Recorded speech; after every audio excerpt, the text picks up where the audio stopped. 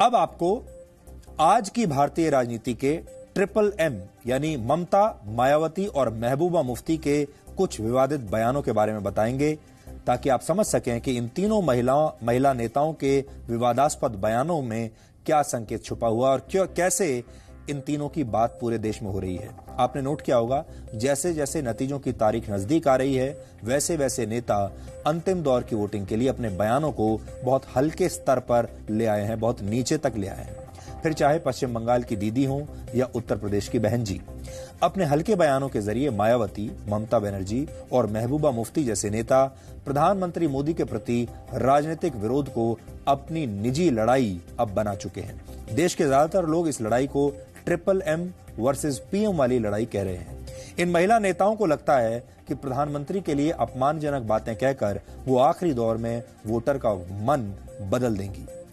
आज आपको ममता बनर्जी और मायावती के कुछ बयानों को ध्यान से सुनना चाहिए। इससे आपको पता चलेगा कि इनके मन में इस समय क्या चल रहा है। किसी भी व्यक्ति को गाली तभी दी जाती है जब वह गाली खाने का काम करता है। ये बात भी श्री मोदी को ज़रूर ध्यान में रखकर चलना चाहिए। इसके साथ ही ये लोग, ये भी कहने लगे हैं कि मुझसे बीएसपी व सपा वाले अब मेरी जाति पूछ रहे हैं। लेकिन इस मामले में भी सच्चाई ये है कि हमने कभी भी इनसे इनकी जाति नहीं पूछी है, बल्कि हमने तो इनकी असली जाति के बारे में ही जनता को सही जानकारी दी है। ये लोग जितनी भी गालियाँ मुझे देते रहे, मेरा ध्यान देश के विकास पर रहेगा। साथियों, आज़ादी के बाद हमारी पहली ऐसी सरकार है जिसने महिलाओं के लिए इतने काम किए हैं। कि ये वास्तव में जन्मजात अति पिछड़े वर्ग के नहीं हैं, बल्कि गुजरात में अपनी सरकार के चलते हुए जैसे तैसे जुगाड़ करके फिर वहाँ इन्होंने अपने राजनीतिक स्वार्थ के लिए अपनी अगड़ी जाति को ही अति पिछड़े वर्ग की सूची में शामिल करवा लिया था। इसके साथ साथ यहाँ मैं ये भी कहना चाहती हूँ कि यदि ये वास्तव में असली अति पिछड़े वर्ग के होते तो फिर इनको यहाँ तो फिर इनको यहाँ दलित दलित व तो फिर इनको यहाँ दलित व अन्य पिछड़े वर्ग के बने बंगले बिल्कुल भी अखरते नहीं। सपा बसपा वाले, मेरी जाति को लेकर हमले करते रहे हैं। भाइयों बहनों, मैं पिछड़ी जाति में पैदा ज़रूर हुआ, लेकिन हर पिछड़े को, हर गरीब को इस देश को अगड़ा बनाने के लिए दिन रात एक कर रहा हूँ। मैं गरीब ज़रूर पैदा हुआ, लेकिन देश से गरीबी हटाने के लिए जी जान से जुटा हूँ। मुझसे जो लोग मेरी जाति का सर्टिफिकेट माँगता है। उन्हें मैं कहना चाहता हूँ, मेरी एक ही जाति है। और मेरी जाति है, गरीबी ही ये मेरी जाति है। जातिवाद के नाम पर, जातियों का, गरीबों का शोषण करके अरबों, खरबों रुपयों के मालिक हो गए हो। तो इसका मतलब ये नहीं है कि मेरी गरीब जाति का आप मज़ाक उड़ाते रहे। राजस्थान के अलवर में हुई दलित महिला उत्पीड़न की घटना को लेकर वैसे श्री नरेंद्र मोदी चुप ही थे।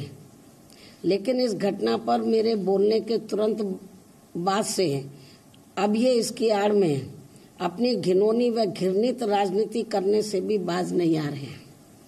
ताकि इसका चुनाव में इनकी पार्टी को कुछ राजनीतिक लाभ मिल जाए। जो अति निंदनीय व अति शर्मनाक भी है। और वैसे भी ये दूसरों की बहन बेटियों की इज़्ज़त करना क्या जाने? जब ये अपने राजनीतिक स्वार्थ में अपनी खुद की बेकसूर पत्नी तक को भी छोड़ चुके हैं।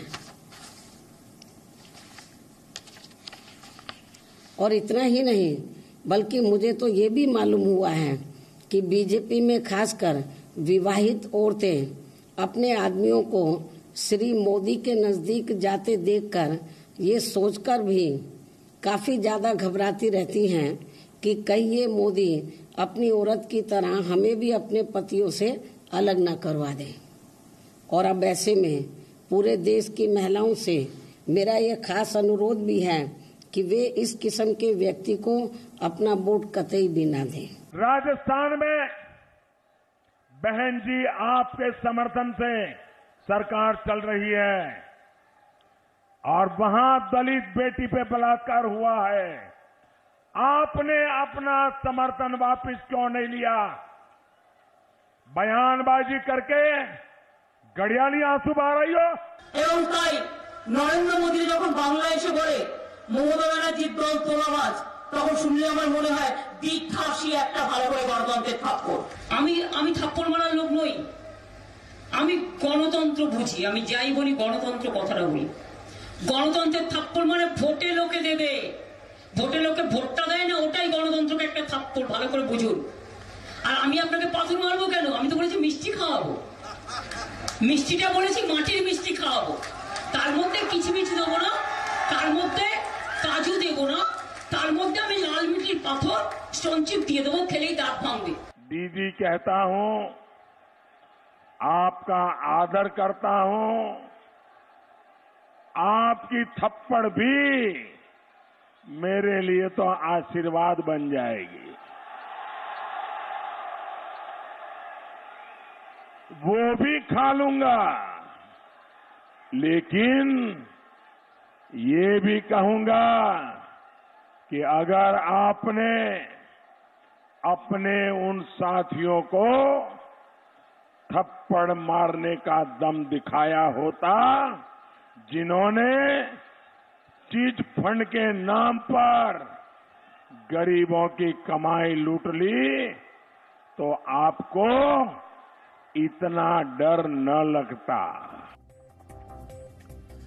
इससे पहले आपको याद होगा, ये अटकलें लगाई जा रही थी कि चुनाव के बाद मायावती के साथ बीजेपी का कुछ गठबंधन हो सकता है और लोग ये कह रहे थे कि बीजेपी मायावती पर कुछ सॉफ्ट है।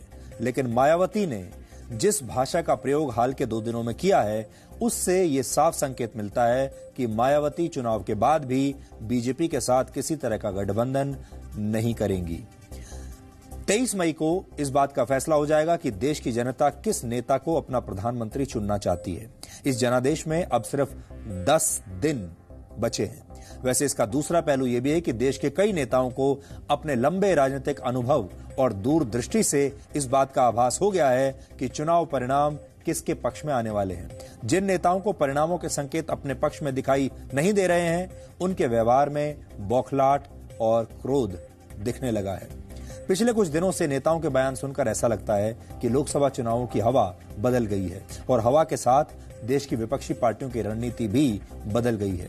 सूत्रों के मुताबिक बीजेपी सरकार को हटाने के लिए टीडीपी के नेता चंद्रबाबू नायडू ने 21 मई को तमाम विपक्षी दलों की एक बैठक बुलाने का प्रस्ताव रखा था कि यह बैठक दिल्ली में बुलाई जाएगी, जिसमें रणनीति के बारे में चर्चा होगी कि क्या करना चाहिए चुनाव के बाद, कैसे गठबंधन सरकार आनी चाहिए और बीजेपी को रोकना चाहिए। लेकिन इस बैठक में ममता बनर्जी ने आने से साफ़ इनकार कर दिया है और ज़्यादातर दूसरे नेताओं का भी यही मानना है कि जब तक अंतिम नतीजे सामने नहीं आते, तब तक गठबंधन की तस्वीर साफ़ हो ही नहीं सकती। अब यह बैठक 23 मई की शाम तक के लिए स्थगित कर दी गई है।